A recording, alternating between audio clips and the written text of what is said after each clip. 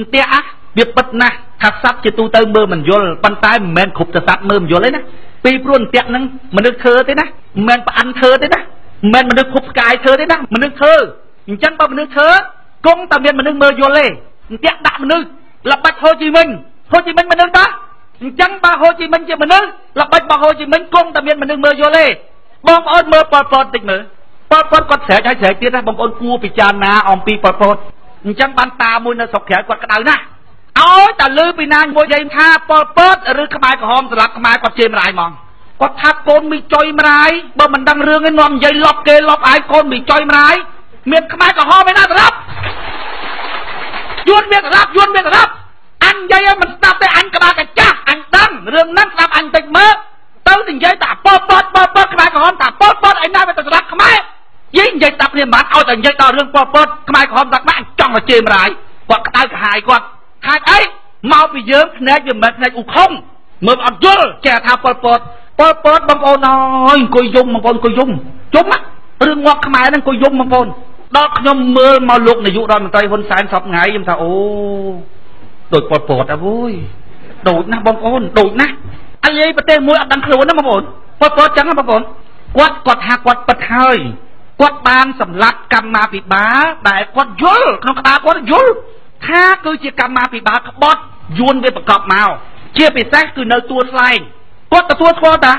ថាគាត់បានសម្រាប់ពួកកម្មាភិបាលហ្នឹងមែនពីព្រោះគាត់សង្ស័យថាពួកអានឹងបដិបដានៅយួនគាត់គិតអញ្ចឹងប៉ុន្តែគាត់មិនបានដឹងទេថាមានការកាប់សម្លាប់នៅតាមស្រុកស្រែគាត់អត់ដឹងទេហើយបងប្អូនគិតបន្តិចគាត់ថាពេលដែលគាត់ចុះទៅកន្លែងណាណាបងប្អូនគេរៀបចំអាធាត់ធាត់ដាក់ពីមុខអា ធាត់ធាត់ដាក់ពីមុខហើយខោអាវខោអាវអាកញ្ចាស់កញ្ចាស់ហ្នឹងគេដូរឲ្យថ្មីអស់ហើយដើម្បីមកទទួលប៉ុលពតប៉ុលពតទៅកន្លែងណាគឺរៀបចំតែចឹងហើយគាត់វាអត់ដឹងមានពីណាប្រាប់គាត់បើកម្មាភិបាលក្បែរគាត់រួមទាំងសុនសេនផងណាដែលនៅក្បែរគាត់មែនតើយួនប្រកបទៀតបងប្អូនចាំណាមើលវារៀបផែនការអត់ឲ្យគាត់ដឹងមកណាគាត់អត់ដឹងថាគេសម្លាប់បងដូចលោកនាយករដ្ឋមន្ត្រីហ៊ុនសែនដែលខ្ញុំនិយាយថាដូចប៉ុលពតហ្នឹងចុះមកកពតហ្នឹងគេមកលៀងខ្នល់មុនណា គាត់មានតែដឹងតែខ្នល់ឃើញទេណាអត់ផងហ្នឹងមកតាមផ្លូវគេរៀបចំធ្វើមិនឲ្យគាត់មើលឃើញតែវាស្អាតទៅណាវាអត់បានមើលអាលាយប្រទេសមួយទៅមួយអត់ដឹងណាឥឡូវយើងមើលប៉ុលពតនៅប៉ុលពតគាត់ថាគាត់បានសម្លាប់កម្មាភិបាលដែលគាត់សង្ស័យតែយួនមែនប៉ុន្តែតាមស្រុកស្រែគាត់មិនដឹងទេគាត់មិនដឹងថាអត់បាយផងពីព្រោះអីកម្មាភិបាលធំធំនៅក្បែរគាត់ទៅសិតតែយួនមកកណោដែរសុំបីតែសុនសេនក៏ចង់ដែរបងប្អូនចាំណាមើលល្បិចយួនណាវាចេះអញ្ចឹងណា ហើយវាប្រកបតាំងពីយូរមកហើយណាដែលវាយកខ្មែរយើងយកយួនទៅរៀនខ្មែរឲ្យចេះខ្មែរឲ្យបញ្ចូលមកហ្នឹងណាមិននៅក្បែរពើពើហ្នឹងបងប្អូនពើពើគាត់មានដឹងថាមានការកាប់សម្លាប់រង្គាលឯណាបងប្អូនបងប្អូនគាត់គិតតែនេះតិចដឹងហ่ะពើពើឯណាទៅវាយឈ្នះតបលន់ណុលបងប្អូនពើពើមានតបប្រមាណទៅវាយឈ្នះតបលន់ណុលហើយចុះសម្ដេចយើងណាដែលលាក់យាកកង20ម៉ឺននាក់នៅក្នុងទឹកដីខ្មែរនេះព្រោះតែដេញមិនចេញណាលាក់ឲ្យដេញយកមិនចេញហ្នឹងណា បានជាគាត់រត់ទៅណាទៅណីបាត់នោះហើយដល់ពេលខ្មែរក្រហមវាយចូលស្រុកមិនអាសាសនងជួយវាយអា20ម៉ឺនវាមានចេញណាហ៎ដល់ពេលឈ្នះឆ្នោតមកវាទៅណាបាត់ទៅបើយើងដាញ់វាវាមិនចេញផងរឿងអីវាមិនចេញខ្លួនវាតំណងហើយបានចេញពីពេញភ្លាមមកបងប្អូនវាយកទៅបាញ់ចោលភ្លាមភ្លាមភ្លាមបាញ់ចោលវាយកទៅបាញ់ចោលភ្លាមភ្លាមហ្មងពីព្រោះតែຕົកយូរយើងដឹងអាផែនការអញ្ចឹងវាត្រូវបំបាច់រចនាសម្ព័ន្ធឲ្យពើពើគាត់មានដឹងឯណា ជួនកាលអាមនុស្សនៅក្បែរគាត់ហ្នឹងសិតតែនឹកខូចឲ្យយោបល់គាត់ថាត្រូវធ្វើចេះត្រូវធ្វើចេះពីព្រោះពើពើគាត់ឆ្លៀតប្រើអត្តពលសម្ដេចដើម្បីឈ្នះប្រជាពលរដ្ឋចូលប្រៃណាគេមានដឹងថាពើពើឯណាមិនប្រើអត្តពលសម្ដេចអញ្ចឹងបើចូលក្នុងទីក្រុងភ្នំពេញអត់ឃើញសម្ដេចមនុស្សវាមិនផ្អើលអញ្ចឹងអ្នកឲ្យយោបល់ថាម៉េចទេគៀវាចេញទីក្រុងភ្នំពេញទៅណាគៀវាចេញទៅណាឲ្យវាបាច់រចនាសម្ព័ន្ធរបស់វាហើយយើងប្រងធ្វើរបបកុម្មុយនីសបើឲ្យវានៅក្នុងរចនាសម្ព័ន្ធបែបហ្នឹងវាដឹងខ្លួនវារើបំរាស់ហើយ អញ្ចឹងបញ្ជូនវាទៅតាមស្រុកស្រែទៅតាមស្រុកស្រែទៅដើម្បីឲ្យវាបាច់រចនាសម្ព័ន្ធឲ្យវាធ្វើស្រែស៊ីចុះបើទៅតាមផ្លូវងាត់គេឲ្យអាទ្រឹស្ដីអានេះក្បែរខាងឲ្យធម្មតាទេធ្វើបដិវត្តត្រូវការការលត់ដំមួយវាត្រូវការការចំណាយមនុស្សមួយដើម្បីកសាងសង្គមល្អអញ្ចឹងតើទៅអាណាកាលមិនទាន់កងបដិវត្តឲ្យវាងាប់ទៅសល់ប្រមាណគឺជាមនុស្សលត់ដំធម្មតាទេត្រូវកសាងសង្គមល្អយើងត្រូវតែចំណាយមនុស្សចឹងហើយបញ្យល់ចុះបញ្យល់ឡើងប៉ុតប៉ុតព្រមធ្វើតាម ធ្វើចេះទៅអាអ្នកក្បែរខាងហ្នឹងជាឲ្យយោបល់ហា20ម៉ឺនអ្នកក៏អត់ចាញ់ទៀតអញ្ចឹងហើយបានកាត់ទោសខ្មែរក្រហមសពថ្ងៃនេះអន្តរជាតិដែរគ្មានត្រូវការលុយពីខ្មែរមួយរៀលទេបងប្អូនគេបង្កើតតឡាការអន្តរជាតិនៅស្រុកគេនោះដើម្បីកាត់ក្តីរបបខ្មែរក្រហមរដ្ឋាភិបាលយើងមិនព្រមដាច់ខាតហេតុអីបានមិនព្រមពីព្រោះកាត់ក្តីនៅតុលាការអន្តរជាតិអាចហៅប្រទេសដែលពាក់ព័ន្ធមកបានព្រោះអន្តរជាតិគឺយើងដាច់ខាតមិនព្រម ទៀមទាឲ្យមកបង្កើតតុលាការក្នុងស្រុកខ្មែរដែលជាតុលាការរបស់ខ្មែរមានអំណាចយុត្តាធិការបានហៅតែក្នុងប្រទេសរបស់ខ្មែរអត់អាចហៅយួនអត់អាចហៅចិនមកបានទេគេមានផតតាងសពបែបយ៉ាងទាំងអស់ថាយួនថាចិនខົບខិតគ្នានៅអង្គការសហជីវិតដើម្បីលាក់កំបាំងការកាប់សម្លាប់នៅស្រុកខ្មែរដែលយួនហើយចិនមានទូតនៅនឹងវាដឹងរឿងតែវានិយាយនៅអង្គការសហជីវិតថាគ្មានអីទេវាលាក់កំបាំងបើកាត់នៅអង្គការសហជីវិតគេដឹងអស់អញ្ចឹងកាត់នៅស្រុកខ្មែរ ហើយអន្តរជាតិមានរបងអីវាអត់ព្រមដល់ពេលយួនទៅគិតឲ្យវាថាបើមិនព្រមទុកឲ្យ4 10ឆ្នាំទេងាប់អស់ហើយប្រជាប្រដ្ឋខ្មែរឡាយមើលរឿងថៃរំជាងរំជាងវាភ្លេចបាត់អស់ហើយបើឯងមិនកាត់យូរយូរទៅក៏ភ្លេចអស់ដែរកូនខ្មែរណាទៅគិតប្រវត្តិយើងគេនិយាយតែពី7មករាគេបំបត្តិបំបត្តិតែមួយជំនាន់ពីរជំនាន់វាភ្លេចអស់លេងរស់នៅដាច់ប្រវត្តិសាស្ត្របាត់អស់ដឹងអាណាអីអាណាអីអាបរទេសខាងការសម្រាប់អស់2លានអ្នកមើលមុខអត់យល់បើក្នុងករណីដែលឯងបកកើតតឡាការនៅស្រុកខ្មែរតឡាការកាត់ទោសខ្មែរក្រហម បើឯងកាត់ក្តីក៏មិនប៉ះពាល់ដល់យួនក៏មិនប៉ះពាល់ដល់ចិនឯងកាត់ក្តីទៅជាប់តែគ្នាឯងហ្នឹងយ៉ាងច្រើនជាប់តែប៉ុលពតខ្មោចប៉ុលពតហ្នឹងនួនជាខៀវសំផនអៀងគ្រីតែពីរបីនាក់កាត់ទោសរួចហើយប្រជាប្រដ្ឋខ្មែរថាអាស្លាប់ហ្នឹងប៉ុលពតខៀវសំផនអៀងគ្រីប៉ុណ្ណឹងមួយខ្លួនអញយួនដាក់លីងហែងមិនកាត់ក្តីក៏អូខេហែងកាត់ក្តីក៏អញចំណេញអញ្ចឹងបានខ្ញុំប្រាប់ថាខ្ញុំមិនដែលរវល់អាតឡាការខ្មែរក្រហមទេកាត់ទោសអីកាត់ទោសដើម្បីឲ្យប្រជាប្រដ្ឋខ្មែរលែងរវល់ថារឿងអាបរទេសខាងការស្លាប់ខ្មែរ ឲ្យដោតទៅលើថាពលពតខៀវសំផនអៀងគ្រីត្រង់ហ្នឹងបានតានឹងគាត់ថាឲ្យតែនិយាយពីរឿងខ្មែរក្រហមសម្រាប់ខ្មែរអញចង់តែជេរម្ដាយខ្មែរក៏ភ្លើភ្លើចុយតម្លៃភ្លើចឹងនេះនិយាយសង្ខេបសង្ខេបរឿងប៉ុលពតឥឡូវមកដល់សម្ដេចនាយករដ្ឋមន្ត្រីហ៊ុនសែនយើងខ្ញុំថាតោអាទៀតណាយួនវាប្រែរូបបងប្អូនបើមិនប្រែរូបមិនបើស្រុកគេប្រែណាយកដីគេស្រស់ស្រស់មកមិនបានវាត្រូវប្រែរូបលោកនាយករដ្ឋមន្ត្រីហ៊ុនសែនហ្នឹងគេបច្ចោចបច្ចោទៅលក់ពងទាមន់ស្ងោអាំងណាគាត់ដឹងស្អីស្អីស្អីគាត់មកខ្លួនចឹងទៅ ការងារទាំងអស់គេអ្នកធ្វើជាពិសេសប៉ូលីសក្រសួងមហាផ្ទៃនេះម៉ែអាយុនច្រើនគាត់មានតែដឹងណាបងប្អូនស្មាតទោសនិយាយទៅណាសឹងថាច្បាប់បោះឆ្នោតច្បាប់សញ្ជាតិហ្នឹងគាត់មិនបានមើលផងនឹងគេសេមិនផងនោះគេយកទៅអនុម័តក្នុងរដ្ឋសភារដ្ឋអីនោះក្នុងដោយប្រព័ន្ធទៀតនៅលើនោះដឹងអីទាំង ហើយច្បាប់បោះឆ្នោតច្បាប់ស្អីច្បាប់ស្អីហ្នឹងគេបង្ហាញគាត់តែទីទីទីទីអាផ្សេងផ្សេងដែលជាល្បិចព្រឹករបស់គេនោះណាយួនមាននៅក្នុងនឹងធ្វើណាបងប្អូនបញ្ជូនទៅរដ្ឋសភាអនុម័តអីអី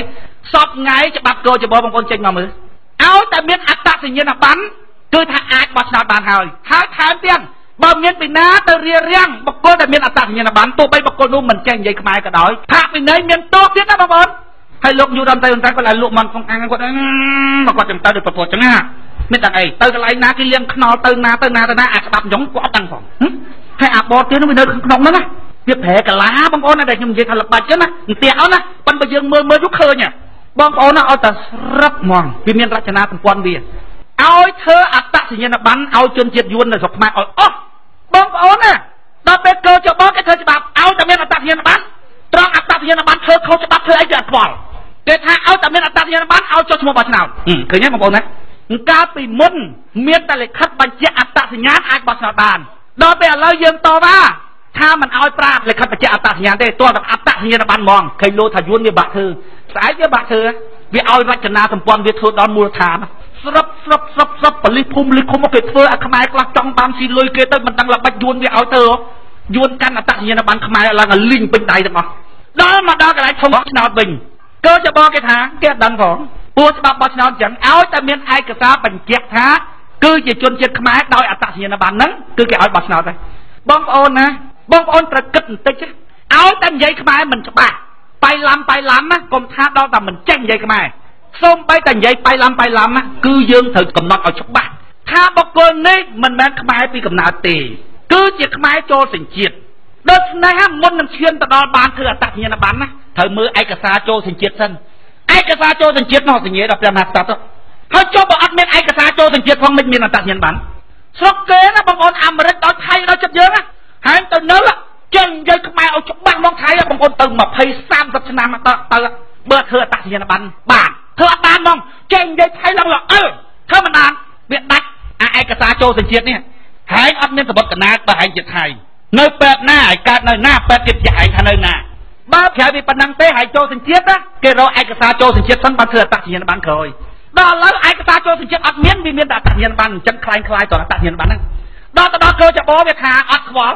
ឲ្យតែមានអត្តញ្ញាណប័ណ្ណគឺដឹងតែបោះឆ្នោតបានអ្នកណាទៅរៀបរៀងជាប់គុកទៀតឃើញយួនវាធ្វើហ៎ឃើញយួនវាធ្វើហ៎ឃើញធ្វើហ៎ហើយដាច់យួនអត់ដែរហ្នឹងមិនដឹងណាចេះទៅទៅទៅចេះទៅលុកពងមកអាំងទៅទៅទៅគាត់ដូចប្រពន្ធហ៎ដូចនឹងខ្ញុំមិនចង់និយាយពីចិត្តទេចង់និយាយពីស្ថានភាពរបស់គាត់ យួនណាដែលពីមុនណាអត់មានអត្តសញ្ញាណប័ណ្ណសោះមានតែលេខិតបញ្ជាក់អត្តសញ្ញាណទេសម្រាប់តែបោះឆ្នោតឥឡូវនេះមានអត្តសញ្ញាណប័ណ្ណស្របច្បាប់ទៅទៀតបងប្អូនពិចារណាមើលបោះឆ្នោតម្ដងមិនឈ្នះពីរដងមិនឈ្នះបីដងមិនឈ្នះទៅទៅឲ្យតែគេហ្មងស្រុកខ្មែរចេញតាមផ្លូវហ្នឹងហើយបងប្អូនមើលប្រជាប្រដ្ឋខ្មែរមើលអត់ល្មមជាមួយនឹងប្រទេសរបស់ខ្លួនដែលខ្ញុំនិយាយថានៅលើភ្នំភ្លើងហើយកូននៅលើភ្នំភ្លើងហើយកូនឡាយរវល់អីតើកិច្ចការអីដែលកូនមិនទាន់ កិច្ចការកាពះហើយកូនអត់បានស៊ីទេកូនរវល់កិច្ចការបន្ទាន់ធំជាងរឿងឆេះផ្ទះទៀតណាកូនកិច្ចការស្អីដែលបន្ទាន់ណាក្នុងជីវិតណាកិច្ចការធ្វើគ្នាកើតកូនណាកូនកិច្ចការការកូនណាកិច្ចការញ៉ែគ្នាកិច្ចការរំជើងកូនណាសំខាន់ណាកូនណាសំខាន់ជាងរឿងឆេះផ្ទះទៀតទុកវាម្ដុំទៅណាបាត់ដីឥឡូវហ្នឹងបាត់ឥឡូវហើយហើយបាត់ស្របច្បាប់ទៀតណាបើយួនកាន់អត្តសញ្ញាណប័ណ្ណខ្មែរហើយហើយមកចេះតែមកធ្វើតែអត្តសញ្ញាណប័ណ្ណមិនបាច់មានឯកសារចូលជាតិទេឯកសារចូលសញ្ជាតិហ្នឹងដោយសារវារៀបការ រៀបការជាមួយខ្មែរអីចឹងណាវាមានលិខិតឯកសារចូលសញ្ជាតិហើយសុំសុំសុំសុំហ្នឹងសញ្ញេ15ឯកសារទៅអញ្ចឹងមុននឹងធ្វើអត្តសញ្ញាណប័ណ្ណត្រូវមើលឯកសារចូលសញ្ជាតិសិនដល់ពេលពួកអាមន្ត្រីអស់ហ្នឹងយួនវាបជាលោកយួនតន្ត្រីតន្តានគាត់វារុញឲ្យតាទៅណាតាទៅលក់កំទីអាំងពងន់អាំងអីចឹងទៅចិត្តទៅទៅទៅលៀបខ្នល់អីចឹងទៅអាឯកសារក្រមវាធ្វើទាំងអស់បងប្អូនយល់អាកន្លែងហ្នឹងអត់ដល់ពេលចឹងណាបងប្អូនណាយួនទាំងអស់មានអត្តសញ្ញាណប័ណ្ណស្របច្បាប់កាន់តែទៅកាន់តែជ្រៅទៅជ្រៅទៅបងប្អូនបញ្ចូលមកបូកលេខប៉ាន់សពអីយ៉ាង ថាតើគណៈបកប្រជាជននឹងយួនប៉ុណ្ណឹងអីប៉ុណ្ណឹងប៉ុណ្ណឹងបោះឆ្នោតឈ្នះនៅគេបូកគេប៉ាន់រាល់ថ្ងៃណាហើយបើវាមិនឈ្នះទៅចៃដន្យទៀតតើត្រូវមានទំនប់អីទៀតវាយខ្ទេចខ្ទេចទៅមិនប្រទេសឯងអញណាផ្លោងចូលកណ្ដាលទីក្រុងភ្នំពេញក៏មិនស្អីមិនប្រទេសអញផងនោះអញ្ចឹងបានខ្ញុំថាកុំបន្ទោសលោកនាយករដ្ឋមន្ត្រីហ៊ុនសែនបងប្អូនបើទោះបីគាត់ចង់ជួយគាត់ដឹងរឿងអស់ហ្នឹងបងប្អូនក៏គាត់ធ្វើមិនកើតដែរបើប្រជាប្រដ្ឋខ្មែរអត់ដឹងខ្យល់អីផងនេះអញ្ចឹងបានខ្ញុំឃើញគាត់នៅស្ងៀមណាខ្ញុំថាខ្ញុំអរគុណគាត់ ទោះបីជាចេតនាឬអាចចេតនាខ្ញុំមិនដឹងទេប៉ុន្តែខ្ញុំថាចេតនាច្រើនជាងបងប្អូនគឺគាត់ចង់ឲ្យយើងនិយាយហ្មងខ្ញុំថាចឹងខ្ញុំមើលតែគាត់ថាដូចចង់ឲ្យយើងនិយាយហ្មងបើតាមតែខ្ញុំវាយគាត់ទេសប្ងៃបងប្អូនហើយនឹងគាត់អាយុចាស់ជាងខ្ញុំណាបងប្អូនវាសំតែថ្ងៃមុនគាត់តបតមកយើងណាវាតបតដែលថាមានកំហាន់នៅក្នុងខ្លួនគឺសាបតែហ្មងបងប្អូនតបតមកគឺសាបហ្មងក្នុងបេះដូងគាត់គឺគ្មានប្រកាន់អីយើងទេសូមឲ្យឧត្តមខំវាសនាខ្ញុំចង់ប្រាប់គាត់ថា ខ្ញុំមកផ្សារហ្នឹងដឹងរឿងច្រើនសូមឲ្យឧត្តមដើរផ្សារទៅដើម្បីជួយឲ្យយោបល់ខ្ញុំទៀតឲ្យបានច្រើនខ្ញុំអរគុណឲ្យឧត្តមខំវាសនាណាបងប្អូនមើលសម្ដីរបស់គាត់មើលទាន់តែគាត់និយាយថាម៉េចដូចខ្ញុំអញ្ចឹងបងប្អូនណាក្នុងគណៈបាបើខ្ញុំសង្ស័យអាណាមួយថាមិនស្រួលអូខ្ញុំមកនិយាយក្នុងវេទិកាសាធារណៈណាថាអូអញសង្ស័យអានោះមួយអត់កើតសង្ស័យអញ្ចឹងខ្ញុំថាកើតដែរខ្ញុំថាប្រាប់កូនអើយមនុស្សយើងវាអញ្ចេះវាអញ្ចោះដើម្បីឲ្យកូនឯងវាមើលកុំថាអូយឲ្យតែឃើញម្នាក់ដើរក្បែរខ្ញុំមានណាថតរូបក្បែរខ្ញុំស៊ីបាយជាមួយខ្ញុំនឹងថាអូប្រហែលជាអូចិត្តស្និទ្ធជាមួយឪណា ឪថាមិនកើតកូន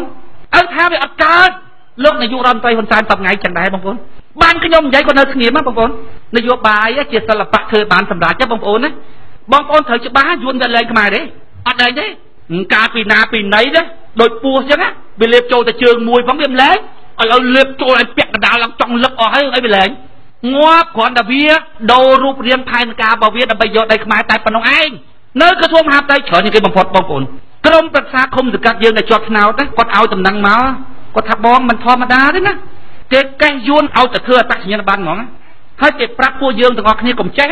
កុំចេះអសររឿងអត្តសញ្ញាណប័ណ្ណហ្នឹងគេកំពុងតែធ្វើឲ្យយួនណាតាមតលេតាមតាមអីហ្នឹងពួកក្រុមប្រឹក្សាឃុំសង្កាត់យើងនៅខេត្តសៀមរាបច្រើនឲ្យព័ត៌មានមកថាបងឥឡូវនេះលិខិតបញ្ជាក់អត្តសញ្ញាណគេយកគេយកតែអត្តសញ្ញាណប័ណ្ណដូច្នេះគេមានផែនការធ្វើអត្តសញ្ញាណប័ណ្ណឲ្យយួនទាំងអស់ហើយ ដើម្បីការឈ្នះឆ្នោតសួរលោកយុរដ្ឋមន្ត្រីតែដឹងដឹងមិនដឹងខ្ញុំមិនដឹងទេប៉ុន្តែខ្ញុំថាស្តៀងប៉ុលពតដែរស្តៀងប៉ុលពតទៀតអត់ដឹងរឿងទៀតសាប់សាប់បងប្អូនអាផ្លូវហ្នឹងបងប្អូនពិចារណាមើលសួរថាតើយើងបាត់ដីអត់អាផ្លូវហ្នឹងហើយបើប្រជាប្រដ្ឋខ្មែរអត់យល់អត់ដឹងពីបញ្ហាហ្នឹងបងប្អូនសួរថាតើពីណាជួយយើងពីណាជួយយើងលោកនាយករដ្ឋមន្ត្រីហ៊ុនសែនប្រកាសចង់ជួយជួយកើតដែរសំនឹងស៊ីកម្មសខាបើចង់ជួយជួយកើតដែរខ្ញុំបើចង់ជួយជួយកើតដែរតើតែប្រជាប្រដ្ឋហ្នឹងដឹងរឿង បញ្ហារបស់ប្រទេសខ្លួនរួចហើយចូលរួមជួយបានវាទៅរួចខ្ញុំសូមអភ័យទោសដែលតថ្ងៃខ្ញុំសូមចាប់អារម្មណ៍គ្រាដំបូងរបស់ខ្ញុំ